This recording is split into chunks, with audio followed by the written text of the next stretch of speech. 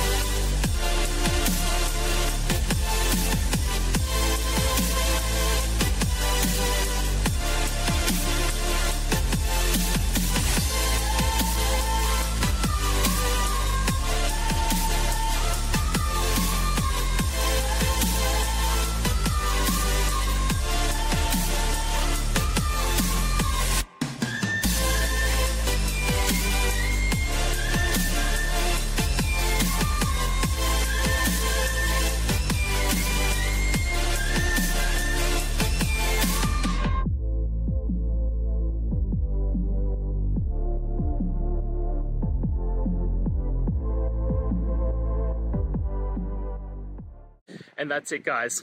I hope we've gone through the question and found that solution you're looking for.